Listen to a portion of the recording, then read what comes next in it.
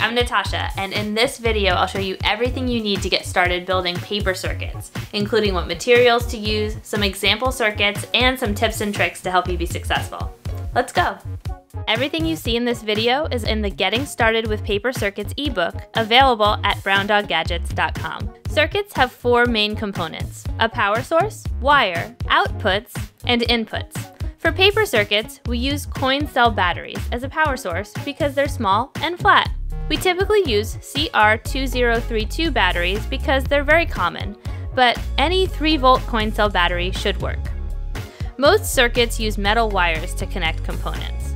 For paper circuits, we use maker tape, a conductive tape that's made of woven metal fabric with conductive adhesive on the bottom. It's flexible and flat, like paper. It comes in two sizes, 1 quarter inch and 1 eighth inch. We use quarter inch tape for paper circuits because components like LEDs are easier to attach with wider tape. The eighth inch tape is great for working in brick-based environments. The output of a circuit is what it does. The example circuits in this video use LEDs as the output, so they light up. Other circuits could vibrate, make noise, or move around. Inputs are ways to interact with a circuit, like buttons and switches.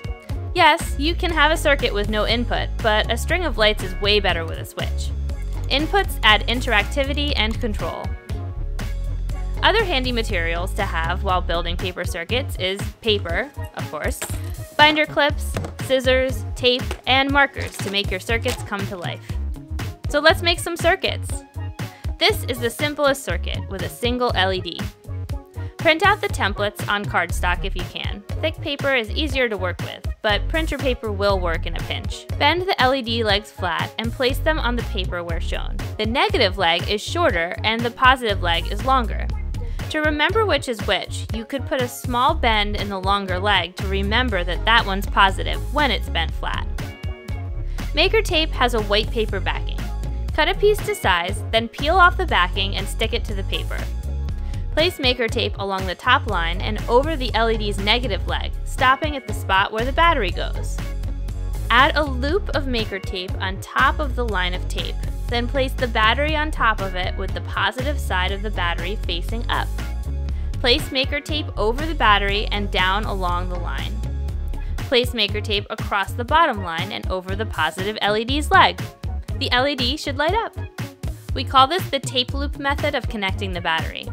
We also sometimes use the binder clip method. In this method, run the maker tape to the corner of the paper and fold it over the battery. Secure the battery in place with a binder clip. Now, let's make a circuit with two LEDs. You can follow along with the second template in the Getting Started with Paper Circuits ebook, or use the circuit you just made and add to it. Bend the legs of the second LED flat and place it next to the first LED, making sure that the positive side is facing the bottom of the paper. Use pieces of maker tape to secure the LED legs to the circuit. Now you have two lights. But what if you want to control when the LEDs turn on and off? Let's make a paper switch. The third template is similar to the circuit we just made, but there's a break in the maker tape, preventing the flow of electricity. Add maker tape to the flap on the side and fold it where shown. This flap will act as a push button switch. When you push the paper down, the maker tape inside will close the gap in the tape allowing the electricity to flow, and make the LEDs turn on. Here's another fun example switch. For this one, we'll need a brass fastener and a paper clip. Thread the brass fastener through the paper clip and push it through the paper. Turn the paper over and bend the legs flat. Place maker tape along the line and run it over the brass fastener. This will allow the current to flow through the paperclip and also allow the paperclip to move freely. Now, move the paperclip to touch one piece of maker tape or the other to choose which LED you want to turn on. Or leave it in the middle to turn the entire circuit off.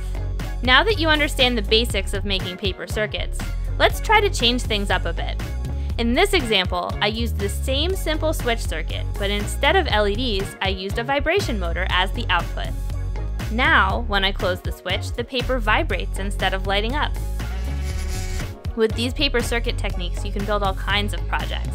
And you can use maker tape on more than just paper. In fact, any flat surface will do.